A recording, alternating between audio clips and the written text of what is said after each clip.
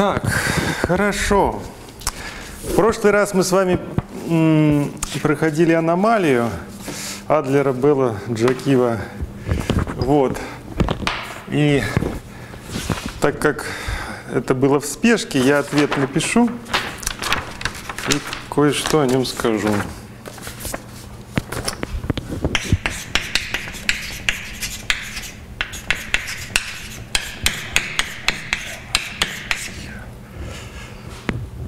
Вот, значит, и было у нас, что? Демю, жемю А, э, значит, демю, жемю А, это 2 и М. С чертой, э, гамма 5 Си, минус на 16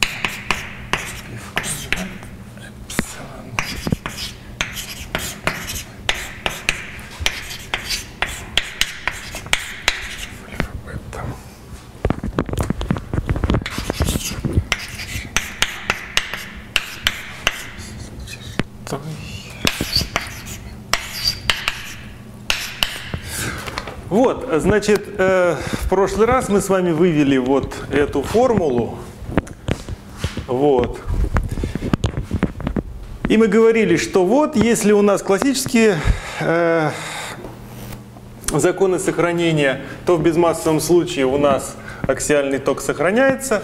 Я напоминаю, что это были э, симметрии относительно преобразований.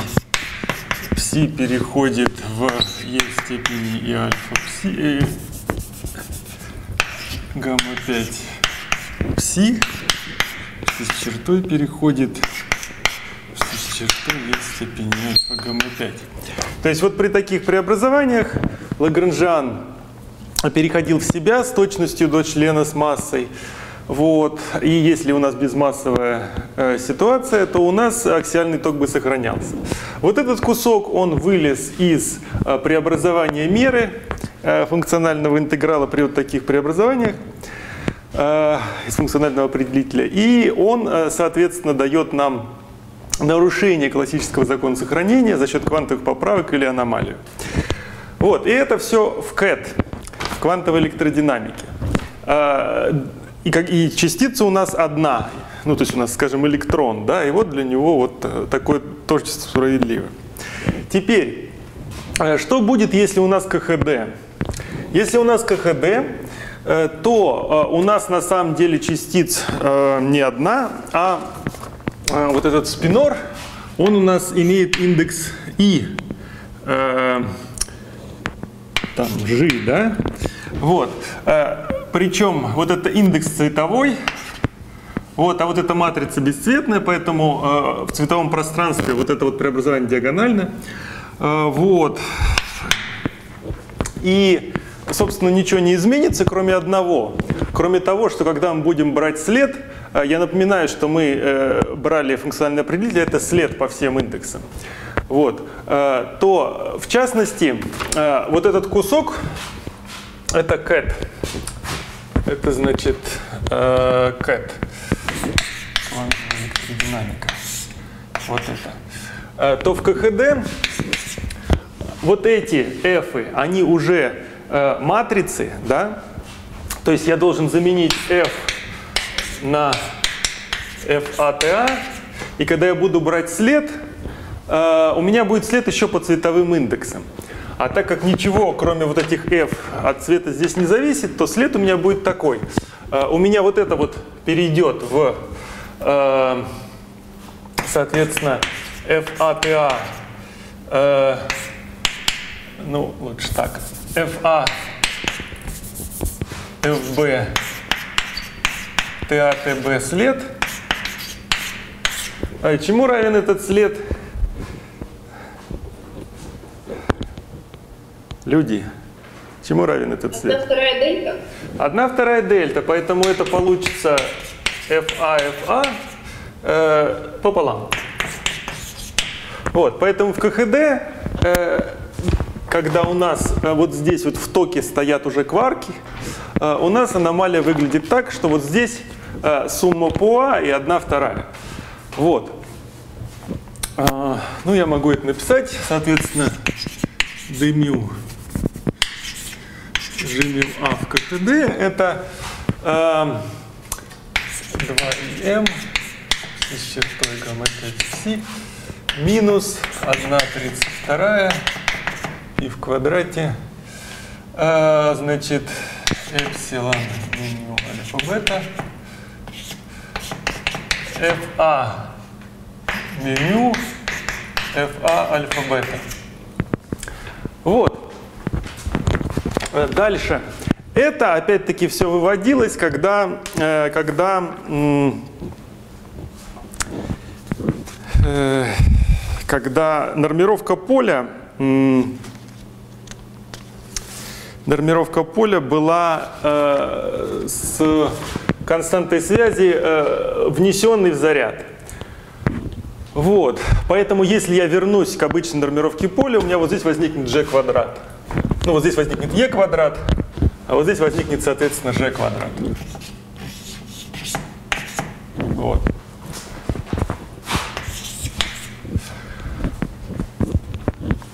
Здесь возникнет э, e квадрат.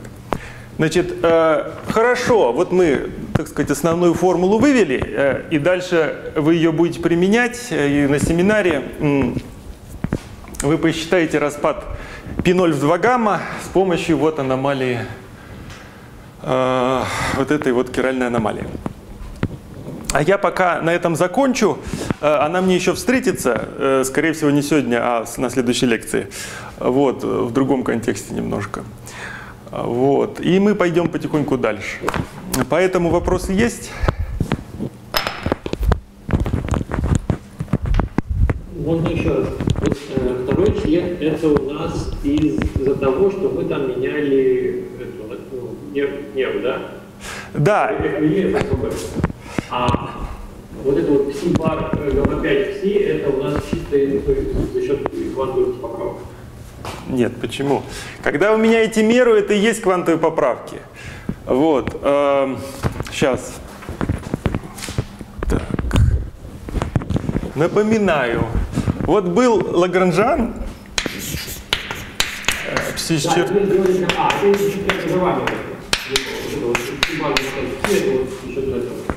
да, вы берете сюда вот это преобразование, подставляете, так? А, и там лишний член появляется. И у вас появляется, что, э, значит, э, вот этот кусок, если альфа константа, он просто инвариантен вот с производной, да? Если альфа не константа, то он пропорционален производной альфа, вот тут, после замены. Э, вот. И если вы эту производную по, по альфа э, по частям отинтегрируете, у вас получится альфа на производную от вот этого. Это, э, значит, там как раз и получится аксиальный ток. Вот это вот слагаемое там получится. Вот. А кусок с массой, он сам не, не инвариантен э, относительно вот такого преобразования, поэтому вы его по альфа раскладываете и берете от него кусок с альфа. Это получается вот этот член. Вот. А вот этот кусок, он уже из преобразования меры интегрирования относительно таких преобразований. Поэтому вот, этот, вот это вот уравнение, это уравнение классическое, которое нам говорит, что ток бы сохранялся, если бы массы не было. Вот. А, а вот это к нему квантовая поправка, которая говорит, нет, не сохранялся бы все равно. Вот. Вот так. Значит, хорошо. Хорошо. Все? Еще вопросы есть? Или... Формулировки мы в конце записали вот с константами. Это когда у нас вариантной производной нет же, да? То есть это А равно А Э, да, то есть, э, когда я выводил, э, сейчас, Тут вот у нас было где-то, что мы коммутатор производных, коммутатор производных, э, значит, заменяли, э, значит, d на d там, да, мы его заменяли на э, f, f, э, вот, ну там и f, наверное, вот так. Э, в этом смысле это означало, что у нас g, он э, взят в определение f. Вот, а теперь мы его вытащили обратно. И, то есть мы сделали замену А в Е на А. Вот а, обратно. И отсюда вышло их квадрат. Вот. Значит, ладно. Следующая тема э, спонтанное нарушение симметрии. Вот, как он там называется. Спонтанное нарушение симметрии.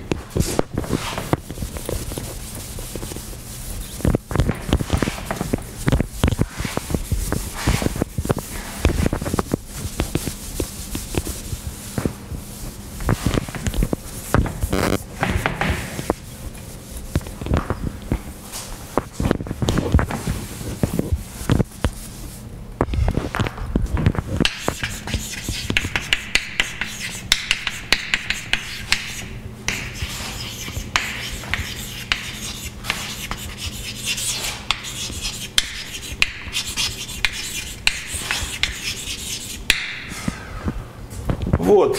А, Значит, если есть какая-то симметрия, то она может быть нарушена двумя способами. А, Значит, а, что такое симметрия, во-первых? А, Симметрия – это вот у вас есть действие, да?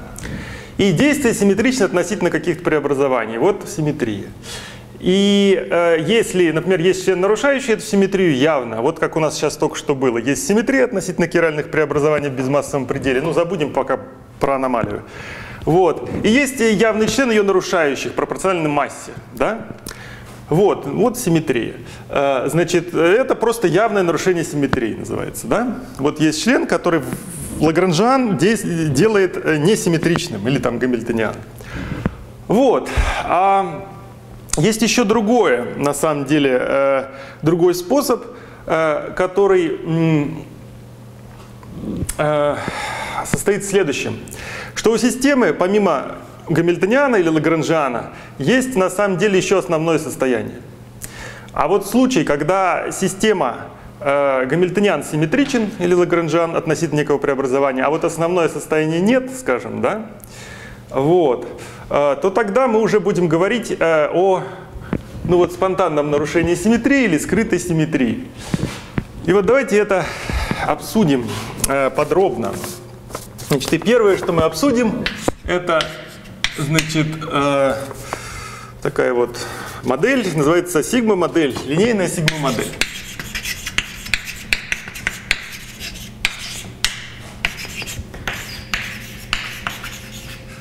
Вот. Я сейчас это все покажу на неких простых примерах, а потом мы к ХД перейдем. Итак, значит, итак, вот, э, пусть у нас есть некое действие, которое зависит от некоторого количества полей фи скалярных. Вот, а без э, действительных полей. Это что? Это значит, одна вторая э, dφ в квадрате э, минус v от φ. Эм, v от φ. Вот. Где это сумма обычных квадратов производных. Вот. Э, это некий потенциал, зависящий от фи. Потенциал возьмем таким. Вот. Э, это одна вторая в квадрате.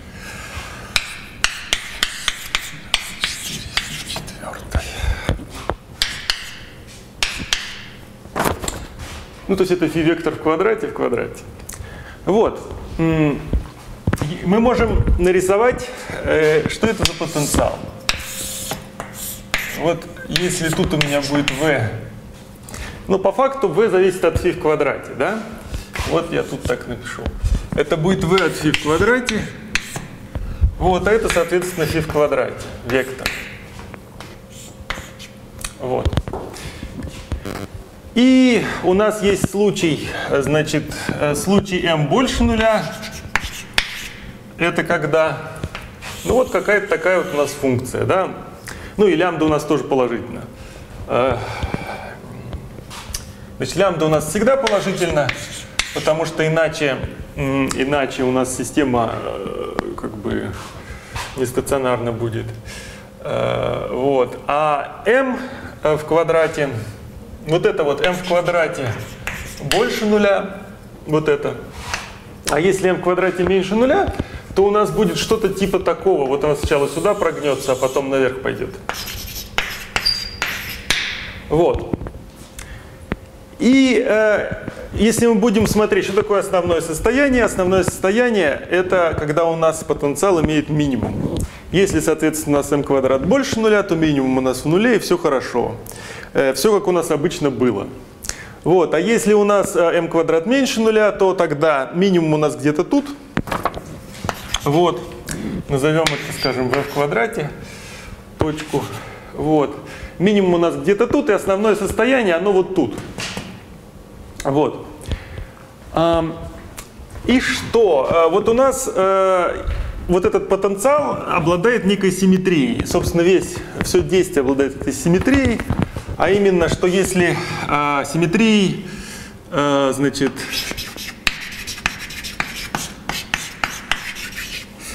ну, О3 по факту, О, ОН, у нас N полей. Вот, значит, тут у нас фи-вектор, соответственно, фи1, фи-n, такой вектор. Потому что это группа поворотов вот в n-мерном пространстве. Да? Э, соответственно, матрицы, которые принадлежат этой группе, э, матрицы R, скажем, если я беру э, переходит в фи штрих равный R на фи, ну то есть фи питая равно и житая, и житая, да? Все это матрица поворота, э, то есть у нее там стоят какие-то синусы, косинусы, э, вот, и она поворачивает этот вектор. Э, потенциал зависит от длины вектора, поэтому он инвариантен относительно вот этих преобразований. Вот у нас есть симметрия. И она, когда основное состояние у нас вот здесь, это точка 0. Э, при любых поворотах точка 0 переходит в 0. Вот. А если у нас состояние вот где-то здесь, вот, э, то э, на самом деле это уже не так. Что у нас получается? У нас получается, что вот эта точка на самом деле может реализовываться большим числом способов. Вот, например, мы можем в качестве вектора φ в вакууме, в конкретном вакууме, э, взять что? Взять вот такой э, феноль, значит, вектор, скажем, 0, 0, а вот тут v. Да? И тогда вот этот вектор будет отвечать нам вакуумном состоянии. А можем взять вот это v, скажем, в любой другой точке. Или как-то их там разбить, это v, да? И это будут на самом деле разные точки, отвечающие одному и тому же состоянию с одной и той же энергией. Но э, в пространстве φ это будут разные точки. И когда мы будем делать вот это преобразование поворота, э, эти точки, вообще говоря, вот мы выбрали какую-то из них, например, вот эту – мы сделали преобразование поворота, и она, вообще говоря, куда-то там в другое место перешла. То есть вакуум себя не перешел. Вот. И вот это у нас спонтанное нарушение симметрии. А, теперь, вот давайте... Еще раз. Да. Спонтанное нарушение симметрии возникает, когда у нас m квадрат меньше нуля. В этой модели m квадрат меньше, когда m квадрат меньше нуля, да. Так, а вот смотрите, мы строим сейчас от фи в квадрате. Да. А если мы график построим от фи, у нас появится два корня? Нет, у нас появится куда больше. Вот сейчас я его построю. Э, значит, как я его буду строить? Вот, э, например, вот здесь я его построю. Значит, смотрите. Э, возьму возьму модель, когда у меня их три, n равно 3. Да? n равно 3. Вот, э, и я буду строить не вот такой график, а, а буду строить вот тут вот, скажем, φ1, там, я не знаю, φ2, вот тут φ3. Да? Это типа как плоскость параметров, что ли? Да, да, да. Да, вот каждая точка, вот, э, ну это как это, Э, да, да, да. То есть каждая точка в этом э, пространстве отвечает э, некой вот, некому вектору вот этому, да? Вот отсюда я знаю, что когда у меня квадрат вектора равен v в квадрате, это у меня минимум потенциала, да? То есть что будет минимум потенциала вот в этой вот, э, вот в этом пространстве? Это сфера, да? Сфера. Ну, э, в общем, некая сфера там, да? Э, Ну как раз, то есть переход между точками сферы, это есть вот это преобразование О, да? Э, Нет, смотрите, эм, э, вот пока, пока, да, мы можем выбрать любую точку на этой сфере, как наш вакуум. Вот. Вот мы его выбрали. Например, какую-то, я не знаю, вот эту точку я выбрал и сказал, что вот эта точка, э, длина этого v, ну вот по всем осям, да, то есть сфера радиуса v, вот эта точка на ней лежит, значит она мне годится под вакуум. Вот. Э, Хорошо. Э, Теперь, если я буду делать вот эти преобразования, да, вот у меня, я могу через эту точку вот такую ось провести через центр, да? Вот если я буду поворачивать вокруг этой оси, точка на месте будет стоять, да? И вот эта симметрия относительно вращения вокруг этой оси. Вот. То есть подгруппа вот этой вот группы О3, да, э, она сохранится. Вот. И эта симметрия будет не нарушена.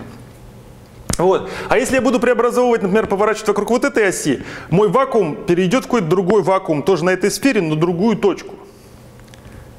Понимаете? Вот, поэтому вакуум не сохраняется. Вот. А, вакуум не сохранится. Владимир, получается, что нарушение симметрии есть проявляется в том, что это просто разные состояния, но энергия одна и та же.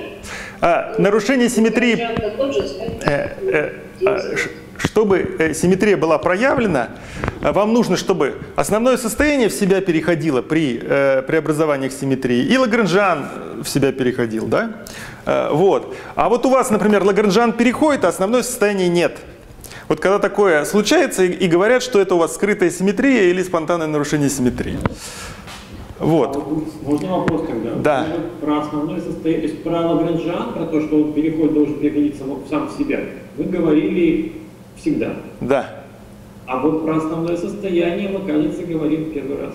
Ну, всегда когда-то что-то начинается в первый Вот, раз. поэтому возникает вопрос, а откуда это требование? Почему мы хотим, чтобы Нет, э? Мы не то, что хотим. э, Утверждение состоит в следующем, что иногда основное состояние в себя переходит, а иногда не переходит. И проявляется вот физические следствия вот этих двух случаев по-разному. И вот сейчас я буду обсуждать э, и те, и другие, на самом деле. Вот. Просто время пришло, и вот мы их обсуждаем. Вот. А, можно еще, еще один вопрос? Да. Вот смотрите, все-таки вот к тому графику, который вы нарисовали вот сбоку справа. Да. Вот. Если мы от фи построим, да, у нас там будет, я, я- понимаю, я, я понял вашу идею по поводу пространства параметров, Да. фи 1, фи 2, фи 3. Но если я вернусь к тому графику и просто построю э, v от фи, От какого фи? У фи много компонентов. а, поэтому мы строим от фи в квадрате. Ну да. То есть вот потенциал как функция, он ну, на самом деле функция от фи в квадрате. Вот тут вот фи вектор в квадрате, тут фи вектор в квадрате и еще в квадрате. Это некий Ну, модельный ну, потенциал, да. Другие будут сложнее, да. что Нам нужно избавиться от вот этих, то есть мы хотим вот на этом графике построить все, ну, то есть все преобразований. Ну, в некотором смысле, да. А, вот. Хорошо, идем дальше.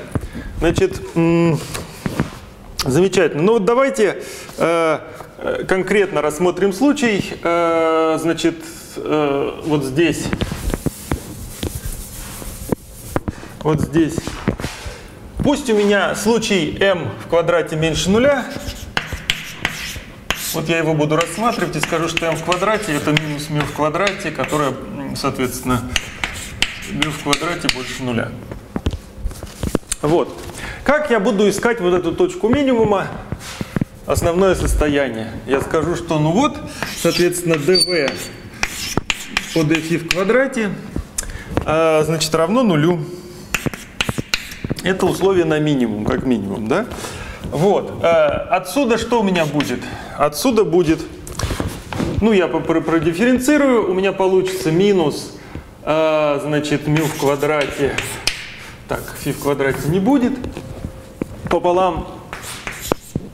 Вот, вот здесь будет плюс лямбда пополам фи в квадрате. Соответственно, точка минимума это фи 0 вектор в квадрате, это э, мю в квадрате на лямбда. Это наше v в квадрате. Мю в квадрате на лямбда это наше v в квадрате. Вот. Э, очень хорошо. Теперь, теперь, э, так как у меня симметрия это вот это вот есть, которую я только что стер относительно всех возможных поворотов вот этого вектора, э, мне э, все равно, какую точку на этой сфере э, выбирать, вот, э, они все равноправны. Чтобы мне удобно было, выберу я ее вот ровно так. Вот, пусть это будет фи 0. А сам вектор фи я назову а, значит, а, пусть это будет P1, Pn минус 1, а вот этот сигма плюс V. То есть я встал в минимум, вот который V, да? А, вот у этих минимум в нуле у всех. И поля, вот эти, которые были φ1, я назвал P1. И так далее. φn минус 1 я назвал Pn минус 1, чтобы они отличались у меня потом. Вот. А вот это поле n, у которого есть постоянная часть, я ее выделил назвал его остаток сигма. Вот. Вот так. После чего я вот э, в таком виде вот это возьму и подставлю себе в э, действие. Что я получу? Я получу, что э, значит, вот у меня потенциал. Если я потенциал буду подставлять, у меня получится э, v будет равно минус 1 вторая мю в квадрате, даже вот так.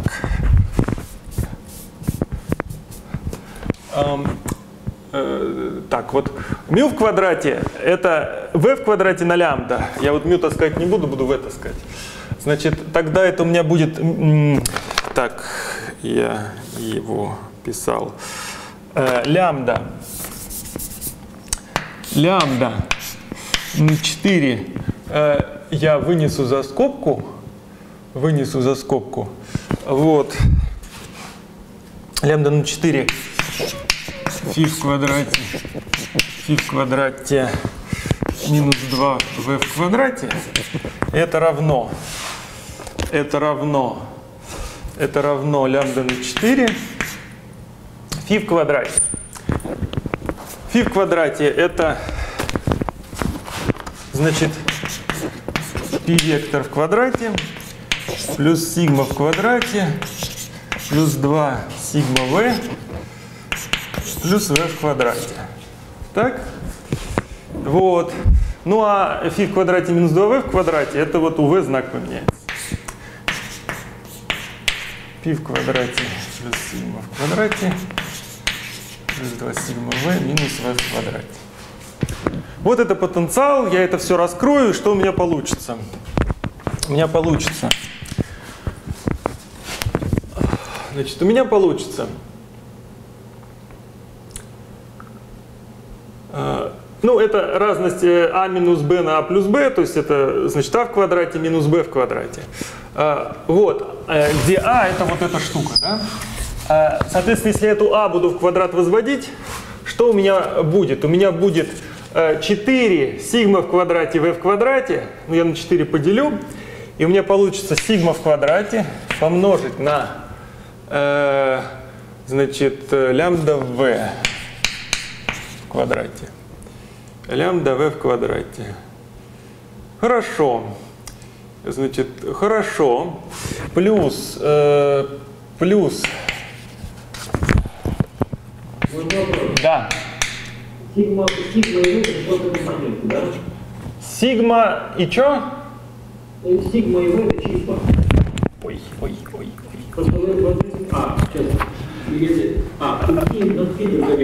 Нет, нет, нет, нет. Э, вот это были поля, они зависели от x, да?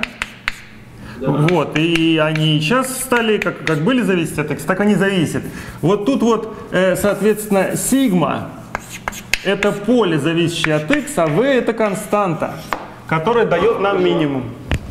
Вот. Поэтому вот здесь Пи это живое поле как функция x, сигма поле как функция x, а v константа некая. Вот такая константа, мю на лямбда, мю в квадрате на лямбда там, да? Вот, если я это все раскрываю, значит, вот квадратичный член по сигма у меня есть. Это квадрат вот этого. Значит, э, π плюс сигма в квадрате будет, э, значит, будет плюс, э, так, π плюс сигма в квадрате на лямбда на 4. Так, как-то вот. Плюс, значит, так, а вы видите, что я тут пишу? Да, вы видите. Да, вижу. Пи в квадрате плюс сигма в квадрате, значит, я должен помножить на э, сигма v. Сигма v, четвер, четверки сокращаются, лямбда остается. Вот. И что останется? Минус v в четвертой. Минус лямбда v в четвертой на 4. Так? Ну вот такой вот, значит, потенциал. Э, дальше, когда я буду подставлять вот сюда в кинетический член, то ничего не изменится, v константа, он, оно сократится под производными и все. В итоге что у меня получится э, в качестве действия? Вот, э, ну или Лагранжиана. Получится у меня вот что.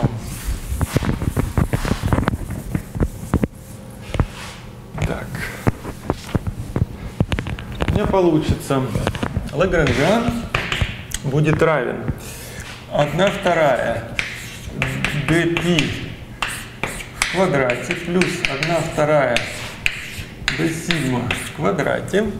Это кинетический член э, минус потенциал. Потенциал вот написан.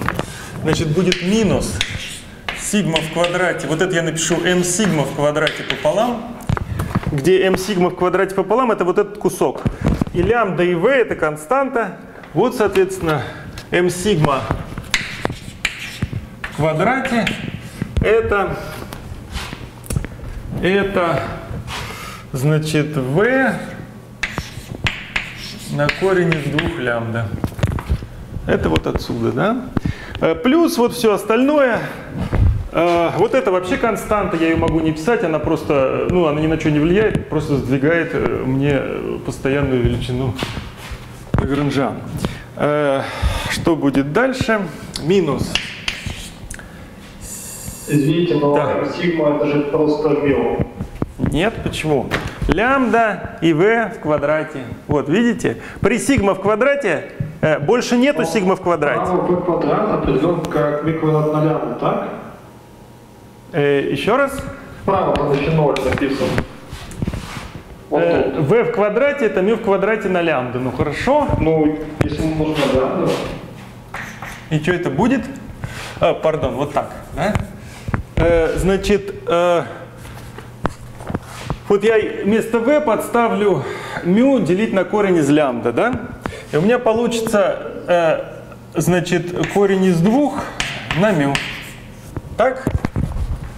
Вроде. Ку- э, или не так? Значит, вместо v я подставляю μ делить на корень из лямбда. Э, ну да, вот так. Ну вот видите, это не μ, а корень из двух μ. Вот. Ну, да, вы правы, он от μ зависит, не вопрос.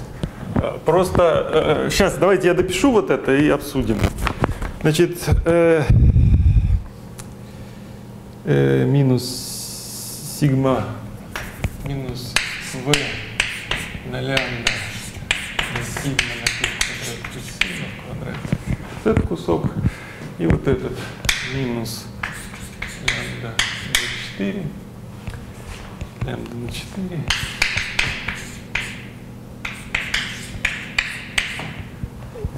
вот. Ну и константа я ее писать не буду. Значит, э, что мы видим? Мы видим, что э, вот поле сигма, у него есть масса. Вот такая масса. А вот поле π, а у него массы нет. Видите, да? У поля π массы нет, это некие взаимодействия. Тут π, если и будет в квадрате, то оно будет на сигма в какой-то степени помножаться. Это будут члены со взаимодействием. То есть мы получили, что как только у нас вот есть такая ситуация, что симметрия спонтанно нарушена, у нас в теории появляются безмассовые поля. Вот, это вот эти π. Сигма это массивное поле, а вот π это безмассовые поля. И откуда они... Да. По поводу раз, два, три, четвертого члена. Там что есть? В, лямбда, сигма, d, там, и плюс... Это вот этот член. Это вот этот член π в квадрате плюс сигма в квадрате на сигма на v на лямбда. А, и квадрат плюс сигма в квадрат. Ага. Вот, э, ну, мне они не, не важны, это некие взаимодействия. Мне важно, что у сигма масса есть некая, а у π массы нет. Почему так произошло? Вот. Вот на эту картинку, если посмотрим, вот мы выбрали, вот у нас как раз, если я возьму три э, поля, φ1, φ2, φ3, да, и по, по, по вот этому третьему полю э, поставлю точку на вакуум. То есть я выберу вот эту вот точку в качестве вакуума, вот это пусть φ3 у меня. Вот. Это φ1. Вот, если я вот эту точку, вот она, В, выбрал в качестве точки моего вакуума, то есть вот она, φ0, и сказал, что вот это у меня вакуум, а э, поля я буду отсчитывать от этой точки возбуждения а, полей фи. Тогда э, вот это вот возбуждение сигма, оно отсчитывается в сторону фи3. То есть если э, у вас точка вот где-то здесь стоит, или где-то здесь, по вот этой оси, да, то э, э, вот это на самом деле, э, ну, сигма, поле, которое меняется по вот этой оси. Когда мы отходим от вот этой сферы, которая дает нам минимум потенциала, потенциал у нас увеличивается, так?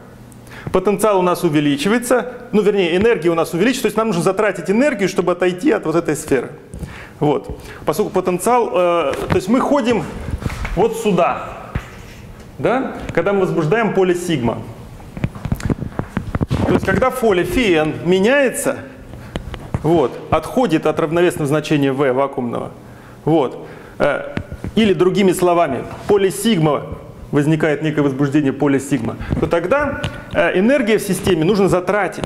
Э, то есть э, мы сходим с поверхности минимального потенциала.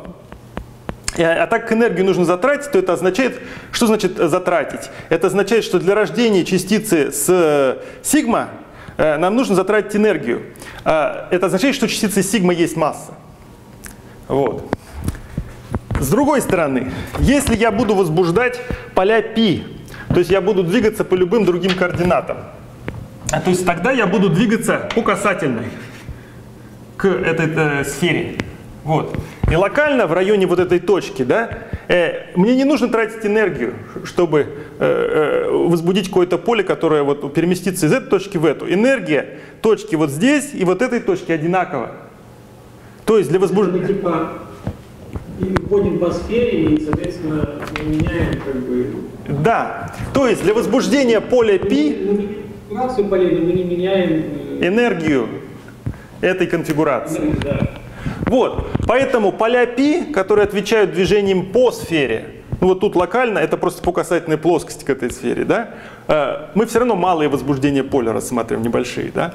То есть поля π, для возбуждения поля π энергии не надо. То есть мы вот из этой точки перейдем в какую-то вот соседнюю на той же сфере. Поэтому поля π массы не имеют. Вот. А поле сигма имеет.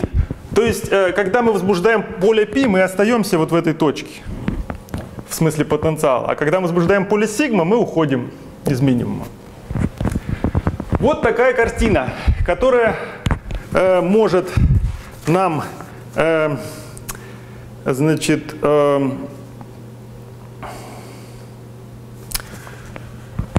вот это все обсуждение на модели можно суммировать следующими словами, которые звучат так. Теорема Голстоуна.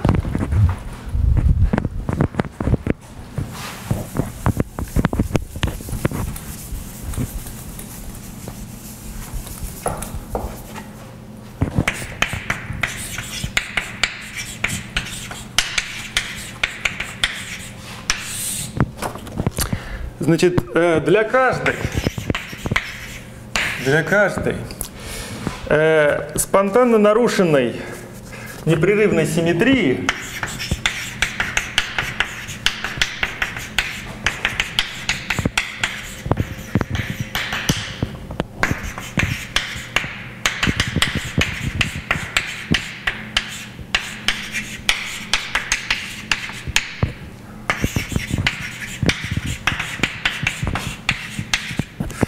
непрерывной симметрии э, в теории возникает э, безмассовая частица.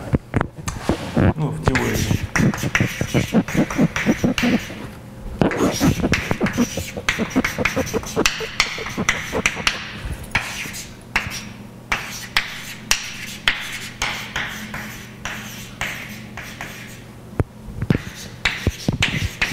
Вопрос? Да.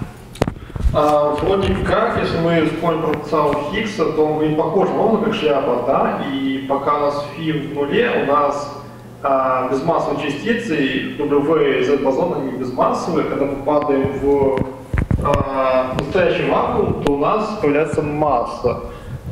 Там сложнее. Там сложнее. Это там э, на, на вот это э, накладывается то, что у вас, ну, у вас есть фотон, вот, и э, W и Z бозоны, так? Вот. И э, при падении в вакуум у вас возникают некие вот такие вот, э, значит, э, частицы. Вот. Э, но э, там, э, скажем, э, как бы это так сказать там, Э, там э, играет еще то, что у безмассового фотона, э, ну вот, вот эти вот безмассовые частицы, они будут э, сокращаться с лишними степенями свободы там, фотона там, и э, Z-бозона, когда он был еще безмассовый. Да? Э, Ну, э, ну, можно сказать, скалибровочный. Там так э, строится, что вот лишние безмассовые частицы, которые возникают за счет нарушения, э, спонтанного нарушения симметрии, они поглощаются в степени свободы калибровочных бозонов. Ну, в частности, там фотона Z-бозона. Вот. Э, Это, э, ну, это вам Черняк расскажет, то есть он вам будет примерно то же самое рисовать, но там есть еще один шаг дальнейший, вот, э, который нужно сделать, чтобы скалярные вот эти вот частицы, типа вот этих э, утопить в степени свободы калибровочных бозонов. А у нас чердак будет вести с вами вместе, Ну, вроде да. Вот. не вы. Ну, пока что нет, не я. Вот. А, случае сейчас у нас изначально была у всех масса n, а потом масса исчезла у остальных, которые мы сделали π а, поля, а у оставшихся корень двух мелких появился. Да? Да, правильно. Спасибо. Вот. Ну вот, видите, здесь у этого массы есть такая, да, у этих нету. А, вот. Да. уточнить? Не совсем поняла, что подразумевает под термин спонтанное нарушение симметрии? То есть у нас э, потенциал не поменялся, Лагранжан не поменялся, у нас просто есть свободный выбор э, Значит, э, я вот вам прям... функции по факту, ну, вот этого вектора фи, все. Значит, еще раз, по определению. Э, Если теория э, имеет Лагранжан симметричные относительно преобразования, а вакуумное состояние несимметричное относительно этого преобразования, то э, э, значит, э, такое явление называется спонтанное нарушение симметрии или скрытая симметрия. Ну вот это просто вот определение. А, ну то есть, если мы будем двигаться э, по координате фи да, у нас будет преобразовываться несимметрично, ну, а если по фи А, не так, не так, как если мы будем двигаться по координатам фи 1 и фи 2, да? Э, не совсем. Еще раз. Э, э, что такое симметрия? Симметрия – это преобразование вот этих полей фи1, фи2, фи3. Да? Вот в частности, повороты относительно вот этой оси они как были, так и остались. У вас вакуумное состояние, вот оно на ней лежит, да, оно не меняется. То есть вот эта симметрия, которая отвечает поворотам вокруг оси φ3, э, она не нарушена спонтанно, она есть. Так? А вот симметрия относительно поворотов относительно вот этой оси, она нарушена спонтанно. Потому что Лагранжан симметричен, а вакуумное состояние в себя не переходит при вот этих поворотах.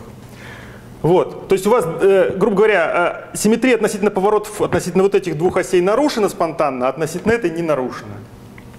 Вот так.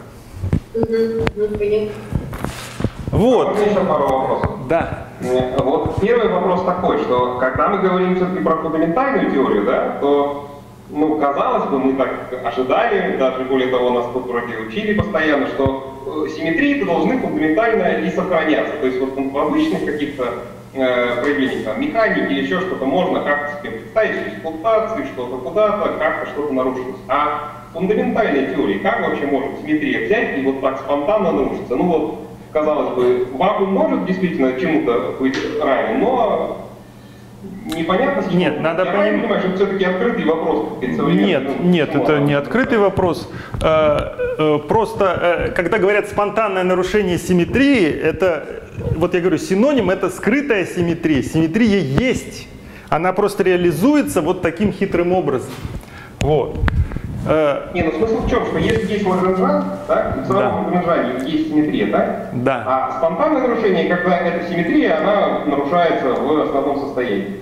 Но, казалось бы, если в Лагранжане есть симметрия, и в основном состоянии она должна быть. Нет, неправильно. Ну, не так. Э, Основных состояний может, основное состояние может быть вырождено. Что-то должно вызвать это спонтанное. Еще раз, э, вырождение основного состояния. То есть основное состояние это не точка в пространстве параметров, а некая область. Из этой области любую точку можно выбрать, и при движении по этой области энергия не меняется, потому что основное состояние вырождено.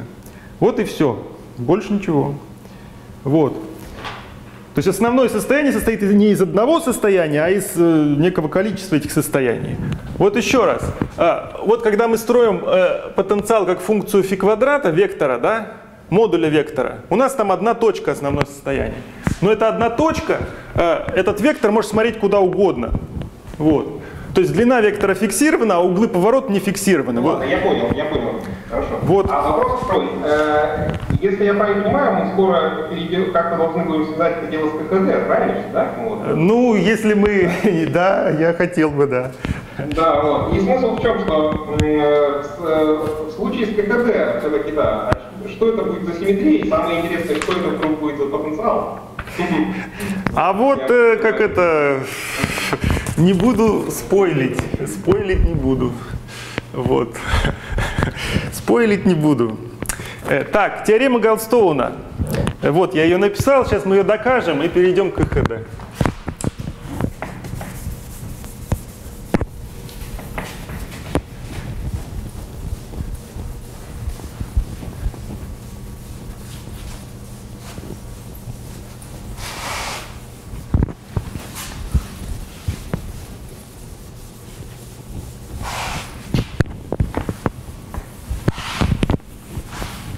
Да, и вот этот Лагранжан такой называется линейная сигма-модель.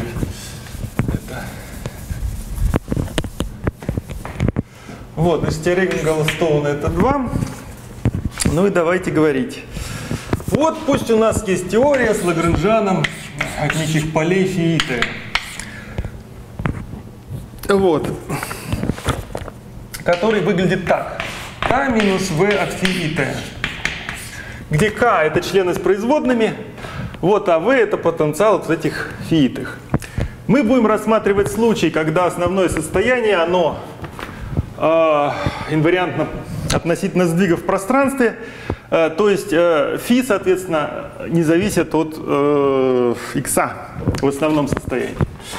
Ну, можно там говорить о том, что вот есть некие состояния, которые там зависят от икса, но мы о них не будем говорить. Значит, основное состояние, э, э, значит, такое. Мы скажем, что dv по дефи, э, dv по дефи t в точке φ равно φ0, вот некий вектор, это равно нулю. Да, вот как мы только что делали для сигма модели. Соответственно, тогда, э, так как мы ищем φ равно φ0 равно константа, то есть у нас это состояние, э, φ0 во всем пространстве одинаково, то на этом состоянии все члены с производными равны нулю. То есть вот этого кинетического члена нет. Вот. И наш Лагранжан это просто минус потенциал. Вот. э, хорошо. Значит, как выглядит этот э, фи? В вернее. В от фи выглядит так. Это В от фи 0 плюс э, 1 вторая фи фи ит минус 0 ит, фи жит минус 0 жит, э, значит, помножить на d в по d фи ит d фи жит в точке фи равно фи 0. Э, плюс и так далее. Значит, первого члена нету, первой производной равны нулю. Это некая константа, которая нам просто сдвигает, значит, вот э, это все э, уровни энергии. Вот, а вот это э, потенциал начинается вот с этого. И дальше там уже пойдут члены, в которых вот этих вот скобочек 3 и больше. Что мы можем дальше сказать? Что э, мы находимся в вакууме, вакуум это феноль, да, вектор. Соответственно, это наши новые там какие-то поля пииты. Вот. А, ну, неважно, это новые поля. А вот это, это не что иное, как а, m изжитое в квадрате, ну, пополам уже там есть. То есть, а вот это а, некая матрица на вот эти новые поля, которая, вообще говоря, играет роль матрицы масс. То есть это э, квадратичная форма от полей. Если я ее диагонализую, у меня будут некоторые новые там вот поля, и на диагонали у меня будут просто стоять массы этих полей. Вот в этой матрице. Вот. Можно вопрос, пожалуйста? Да. А мы предполагаем, что у нас потенциал, он будет только какого вида? Только полиномиальный? Если полиномиальный, в какой степени? Нет, мы предполагаем, что потенциал любой в некотором смысле.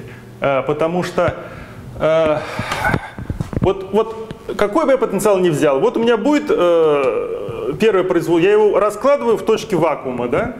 Ну и раскладываю я его себе, вот хоть, пусть он хоть бесконечный, вот там ряд. Вот. Ну и ладно. А, а, я э, слежу за массами, а массы это коэффициент при квадрате полей. То, что будет дальше, это будут взаимодействия, вершины. Как только у вас три поля, это уже вершина, хоть 10 полей, это вершина из 10 полей. Вот. А поэтому все остальное мне не важно, там вершины взаимодействия. А массы определяются вот этим членом. Вот. Хорошо, спасибо. В каком смысле феноль константа?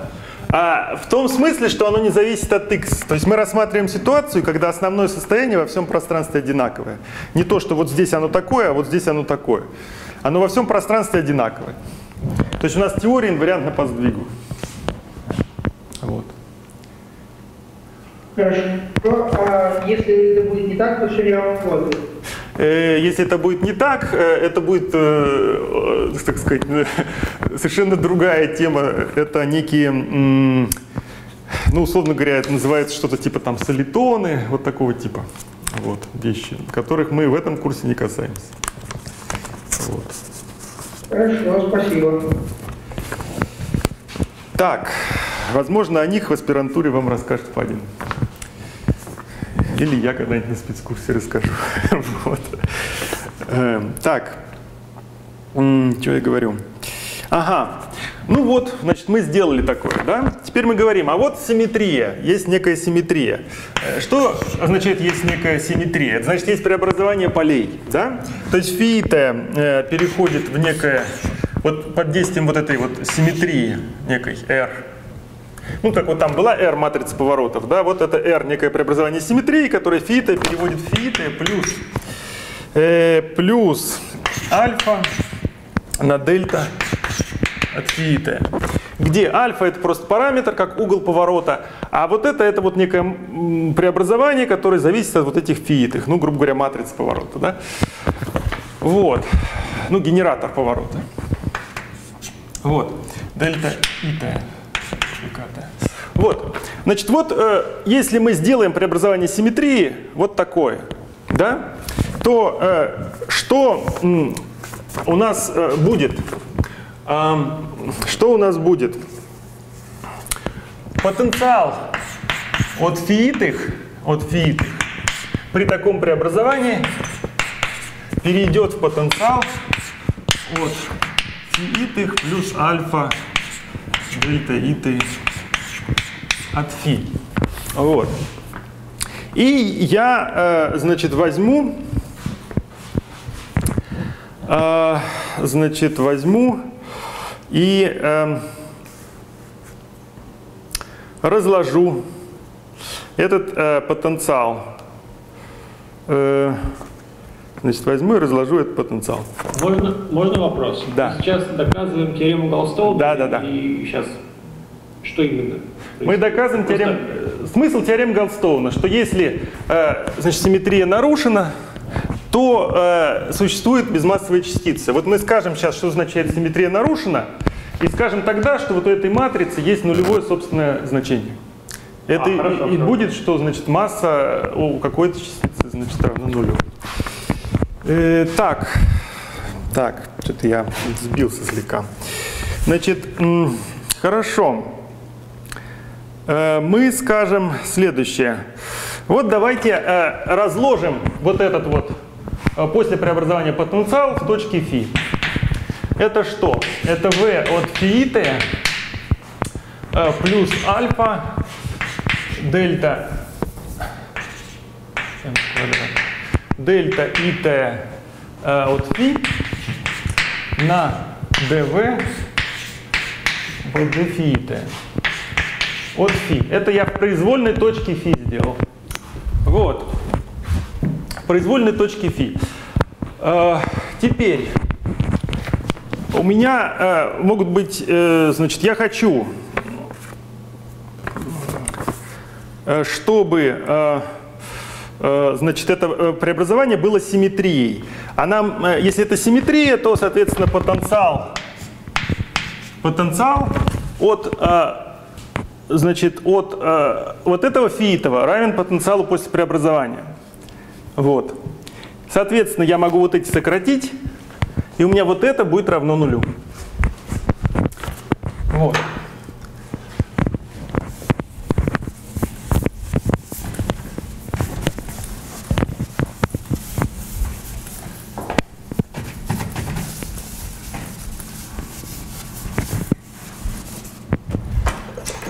Я так и напишу.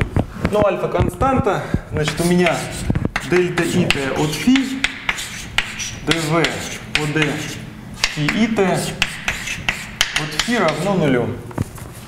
Это равенство я продифференцирую по фижитому. Соответственно, у меня получится, э, у меня получится дельта ит от фи дельта фижитому на dv фи, фита плюс d2v фита фижита. Это равно нулю.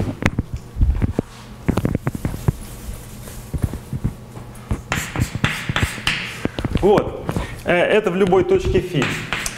Теперь, а теперь я встану в точку вакуума. Э, То есть я вот это вот равенство, значит, запишу, когда у меня фи равно фи 0. Вот. То есть я подставлю везде фи 0. Э, Как только я подставлю фи 0 вот сюда, dv от фи, э, значит, по d фи t в точке фи 0, это у меня по определению вакуума 0. Вот. Поэтому а- останется у меня вот что. Дельта ит от 0 на d2c э, d2v от 0. Ну, d, d2v по d фи ит d фи жит в точке фи равно 0 равно нулю. Вот. Вот это на самом деле что? Это э, вот эта самая матрица масс. Так? Вот. А вот это, это некий вектор. Так? Некий вектор, который откуда взялся? Взялся он оттуда, что вот у нас при преобразовании симметрии это тот самый вектор, это то самое преобразование симметрии. Вот. И вот это произведение у нас равно нулю. Какие могут быть случаи для этого? Случаи могут быть такие. Первый.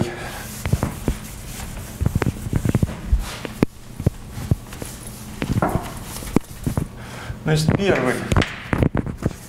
Первый случай.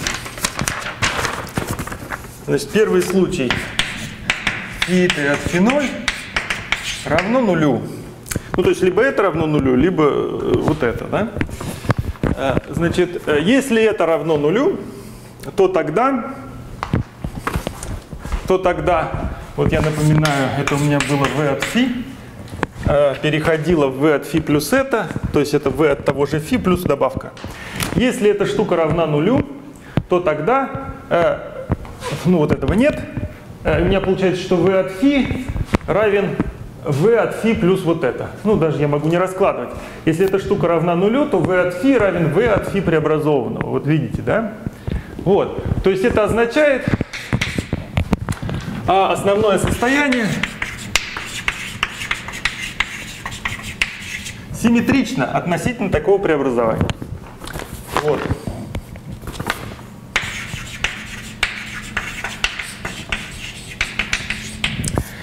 Симметрично, то есть вакуум э, относительно такого преобразования симметричен. Это аналог того, что вот когда вот на этой картинке э, мы делали поворот относительно точки, лежащей на оси. Вот, то есть вакуум не изменился. Вот. То есть вакуум симметричен, он переходит в себя при преобразовании к симметрии, то есть симметрия не нарушена. Симметрия не нарушена. Вот. Второй случай. Значит, если дельта и t от фи 0 соответственно не равно нулю. То есть это э, некая э, не нулевой вектор. Тогда э, мы получаем, что вот этот вектор это собственный вектор э, матрицы масс с нулевым собственным значением. Так? С нулевым собственным значением. То есть а, в спектре вот тут вот После того, как мы диагонализуем эту матрицу, а, у нас получится, что а, некому,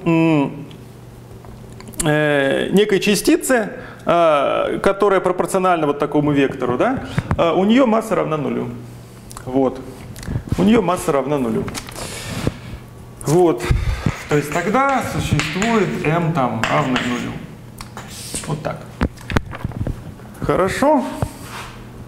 Вот. То есть в теории существует безмассовая частица. И, соответственно, сколько симметрий вы нарушили, вот, столько безмассовых частиц и будет. То есть на каждую симметрию у вас есть вот этот вектор, так, преобразования. Вот. И частица безмассовая, э, это будет, ну, э, строиться из вот этих частиц вектор, собственный вектор вот этой матрицы, который будет отвечать э, массе 0, он будет пропорционален этому вектору. Вот. Вопросы есть по этому?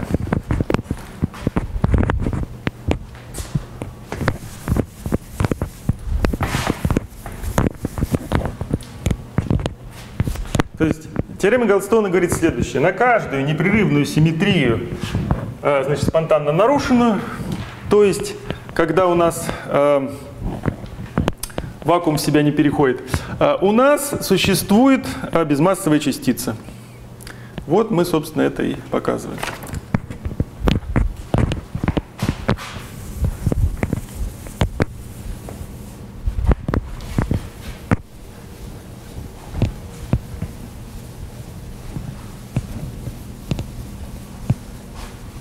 Что-то вы так притихли. Так, это понятно? Мы осознаем просто. Давайте, осознавайте. Что-то тут какое-то обновление вылазит.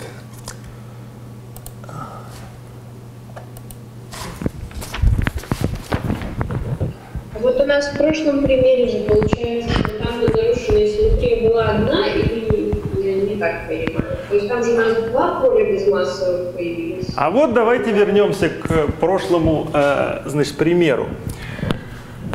Вот я снова нарисую вот это вот. Значит, ну это как-то вот так вот было. Там, я не знаю.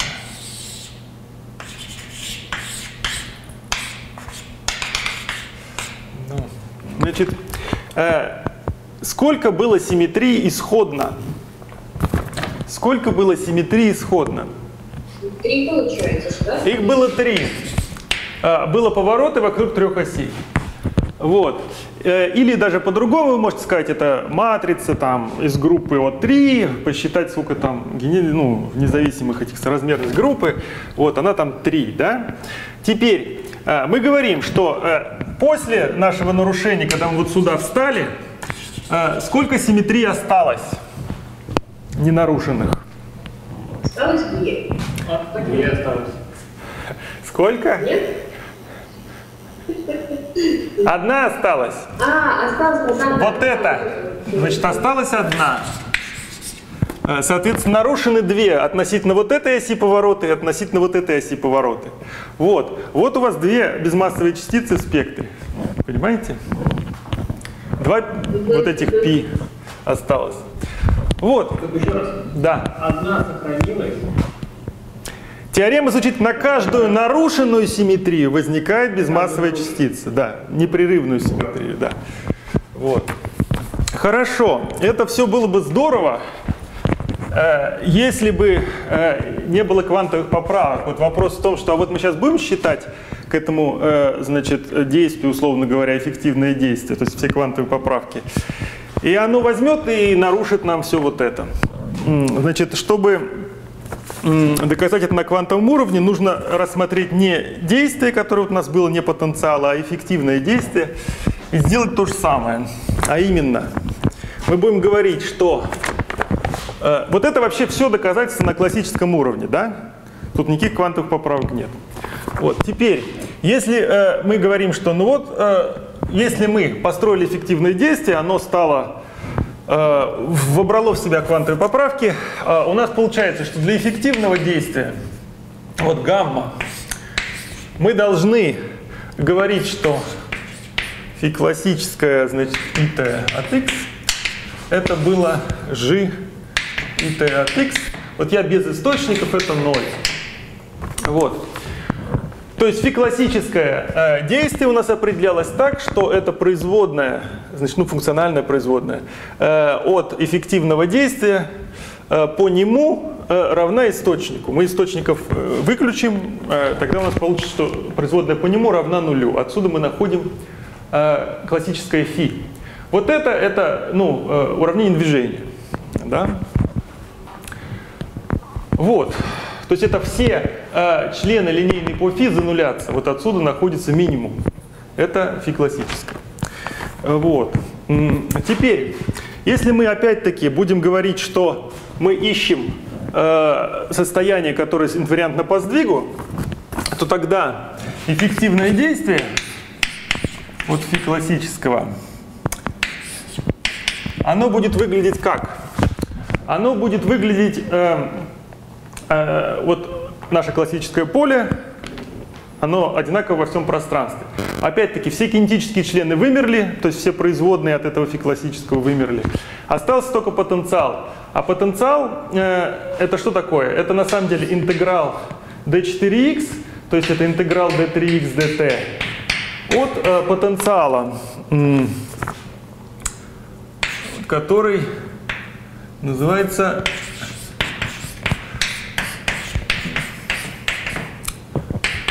минус. Соответственно, минус t на v на v.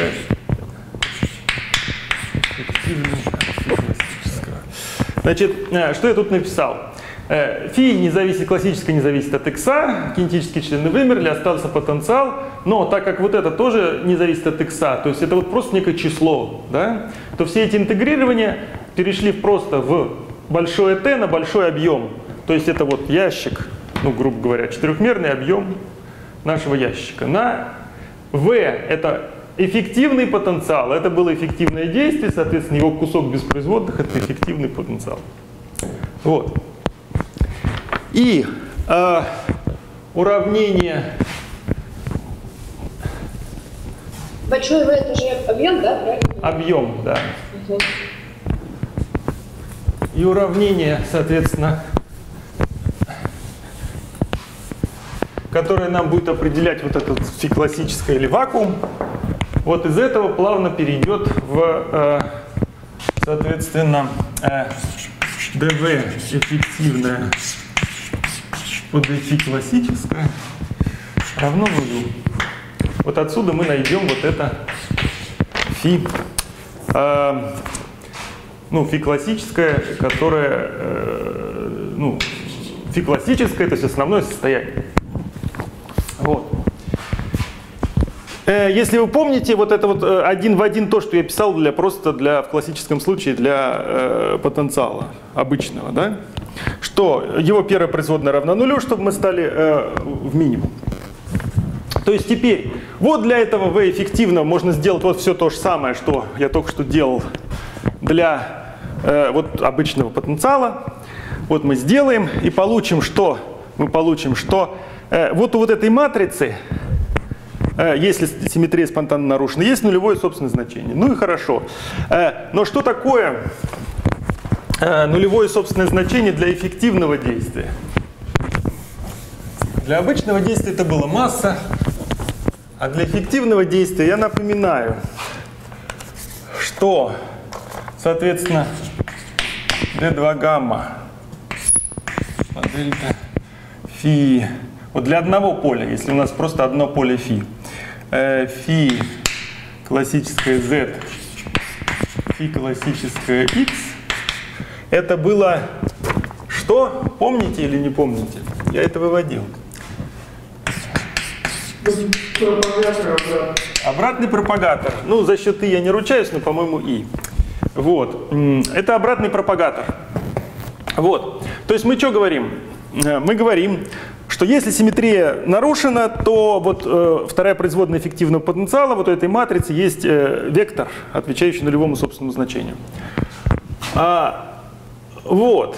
Э, Значит, э, хорошо. А что такое пропагатор обратный? Если брать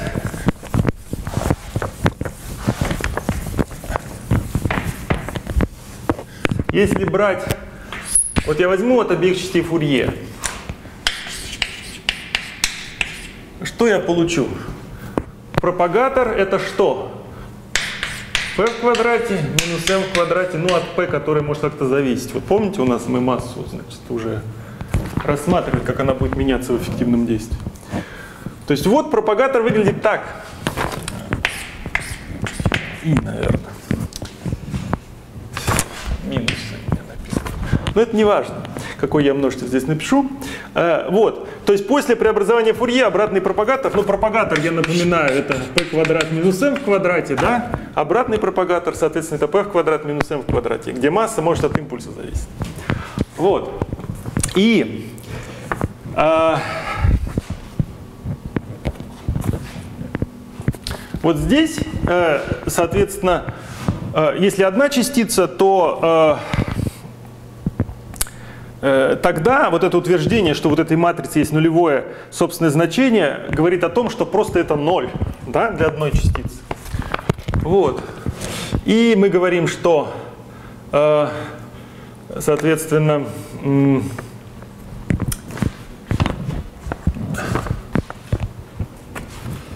мы говорим, э, соответственно, что при импульсе равном нулю, вот, у меня получается, что масса равна нулю. А что такое импульс равный нулю? Э, им- импульс равный нулю, это э, я беру э, ну, постоянные поля. Вот, я беру постоянные поля.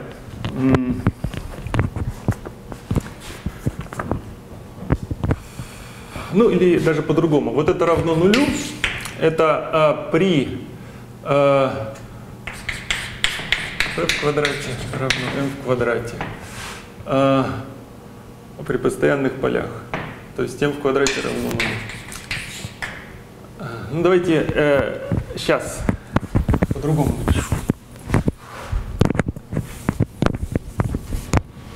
По-другому напишу. Вот если лучше для всех сразу. Z и T.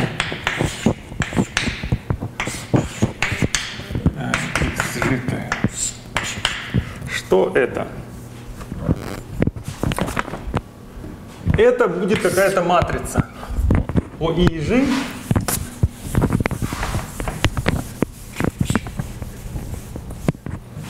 по и и g. А, я ее могу диагонализовать. После того, как я ее диагонализую,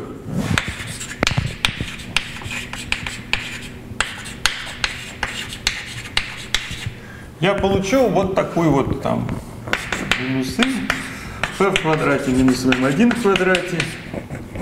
Тут вот все нули. Тут получу p в квадрате минус mn в квадрате. Вот такую матрицу. Получу вот такую матрицу. А, это с одной стороны. С другой стороны, я могу сказать, что вот э, после э, Фурье, Фурье тоже, что, что означает Фурье?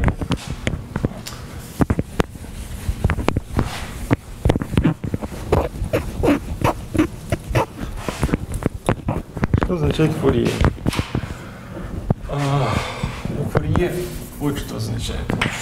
Интеграл d м, d а, значит x e в степени и p x минус z. Вот. Вот что означает Фурье.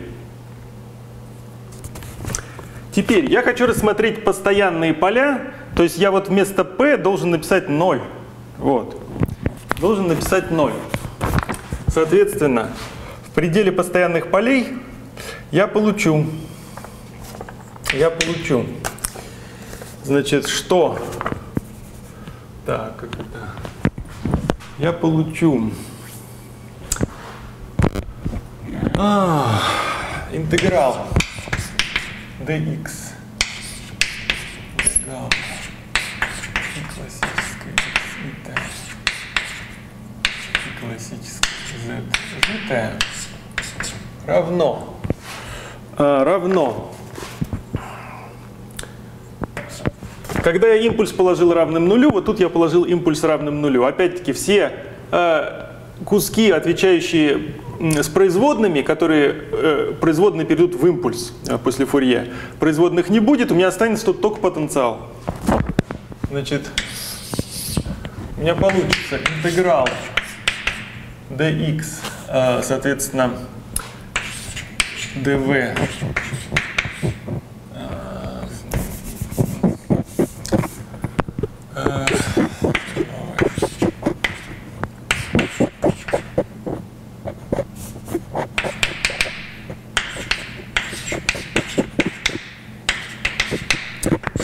это постоянная величина, точно так же, как я делал там, минус. Я напишу минус v на t. Вот. dv эффективная по дефиците дефиците. Вот.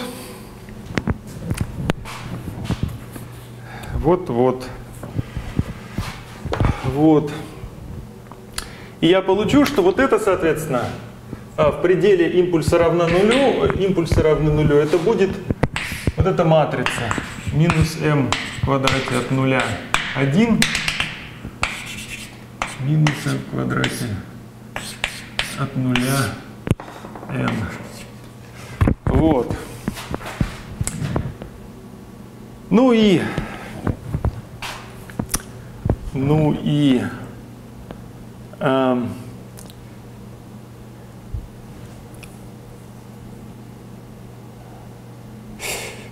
ну и, соответственно, если вот у этой матрицы есть нулевой э, собственный вектор с нулевым собственным значением, то одна из масс равна нулю. На квантовом уровне тоже.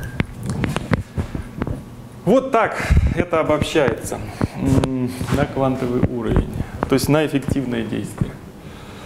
Вот. Можно вопрос? Вот там интеграл от чего берется? Э, ну, D4X, э, D4X, да. Ну, собственно, они везде D4X у меня берутся. Вот.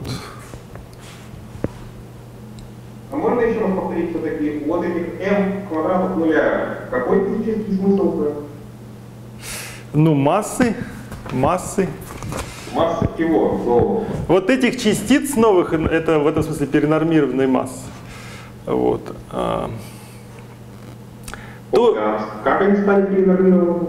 Значит, вот у нас есть эффективное действие, да? А в эффективном действии э, мы э, все поправки, ну, однопетлевые по факту, э, внесли в действие. То есть у нас появилась поправка к заряду, там поправка к массе. Вот. И вот эти пропагаторы, которые здесь стоят, они содержат вот эту массу уже с однопетлевыми поправками, бегущую массу. Так? Вот, поэтому пропагатор я и написал, обратный пропагатор, как p в квадрат минус m в квадрат от p, где вот это вот бегущая масса. Вот. Вот, теперь я говорю, я возьму вот это, э, вот эту матрицу при p равном нулю, при p равном нулю. Ну вот я получаю, что от пропагатора осталась только масса. Вот. Ну, в этом виде вопрос, что такое, э, что за масса при p равном нулю. Вот я беру какой-нибудь условный бимезон, так? У него p квадрат нулю, ну, это, ну может, наверное, равняться, но э, как это связано А. с массой, непонятно. Э, Эта масса его в каком случае? Сейчас, э, ты мне говоришь, что вот p-то в квадрате должно быть равно m в квадрате, да? Например, я не знаю, но Э. если мы говорим про массовую поверхность, ты, ну, судя по про нее не говоришь, хорошо. Да, да, да, да, да, это тут я что-то не то сказал. Сейчас, сейчас соображу. Сейчас соображу. Э, значит, э, p в квадрате. А, p в квадрате. m в квадрате. Ха-ха. Хороший вопрос. Так.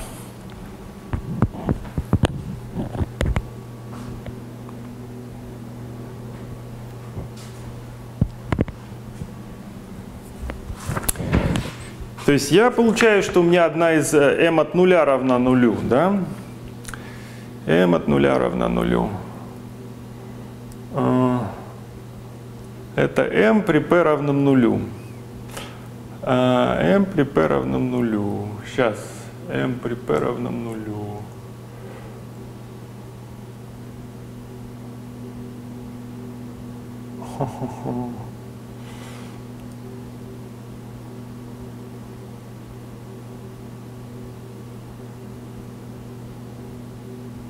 То есть при p равном m в квадрате, при p равном m в квадрате.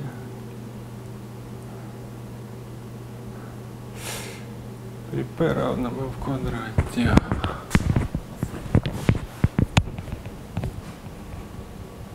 Так,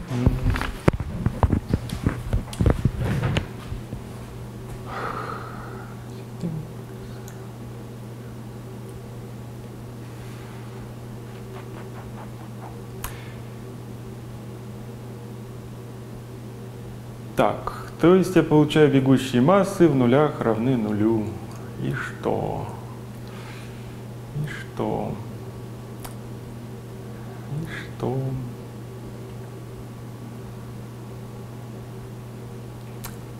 И что?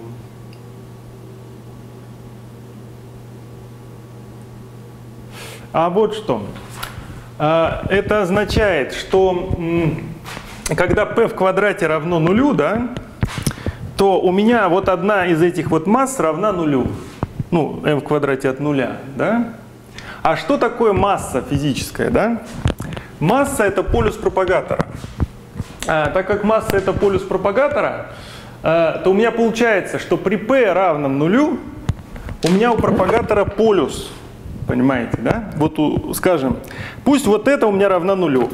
Пропагаторы, которые здесь будут стоять, они будут пропорциональны единице на p в квадрате минус m в квадрате от p. Вот. И я, что я вижу? Что когда p равно нулю, при p равном нулю, а, у меня m при p равном нулю, m, а, m от нуля равно нулю. То есть я прекрасненько себе вижу, что у меня знаменатель зануляется, то есть у него в, этом, в этой точке полюс. Ну, то есть я правильно понимаю, мысль такая, что если я беру какой-нибудь условный горизонт, Да. беру у него массу при p в квадрате равной нулю, и масса чему-то равна, ну не нулю чему-то, да? Ну А тогда это ни о чем тебе не, Массу- не говорит. Что еще? Значит, э, масса – это полюс пропагатора. Ты берешь камезон, э, для него строишь пропагатор, кладешь импульс равным нулю, у тебя масса какая-то. Ну и, и- и- ничего. Вот. Э, э, когда у тебя вот это равно нулю, p в квадрате минус m в квадрате от p равно нулю, то тогда ты определишь массу. Вот. То есть, когда p в квадрате равно m в квадрате, это будет э, уравнение на твою массу для комизона там, условного, да? А, а тут я показываю, что вот у этой матрицы при p равном нулю будет нулевое собственного значения. То есть э, одна из этих масс, э, когда я вот сюда 0 поставлю, будет равна нулю. Но тогда э, p в квадрате равное нулю, э, так сказать, равно этой массе. То есть это частица безмассовая. Вот. Понимаете или не понимаете? Ну, мне понятно, окей. Так, люди, вам понятно? Да, понятно. Чудесно.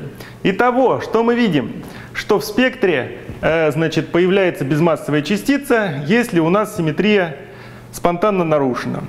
А, значит, мы говорим, если симметрия спонтанно нарушена, матрица вторых производных от эффективного потенциала равна нулю. Э, значит, э, эта матрица, это все равно, что вторая производная от действия Значит, но э, когда мы импульс взяли равным нулю, соответственно, у нас э, m какое-то от нуля в квадрате будет равным нулю. Это означает, что пропагатор p в квадрате минус вот это m итая, которая в квадрате от p, будет при p равном нулю зануляться, то есть иметь полюс. Это означает, что p в квадрате равное нулю э, будет равно этому же m в квадрате равным нулю. То есть э, частица будет без массы. Вот так. Значит, теорему Голдстоуна мы прошли. Вот. Если есть вопросы, спрашивайте. Мы к КХД перейдем. Применять ее будем. Вот.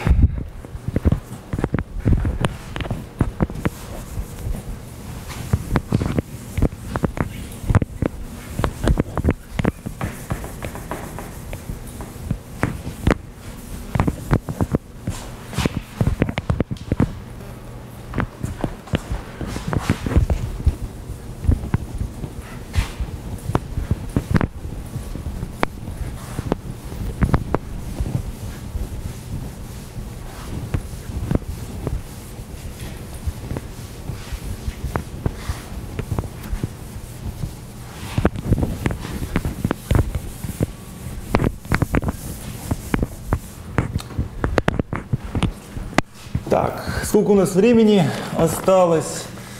Эм, Минус 15 секунд. 15 секунд? Минус 15. Так, ну то есть КХД в следующий раз, судя по всему, да? Ну ладно. Вопросы? Вот. Есть по тому, что было сегодня или вчера, в смысле в прошлый раз?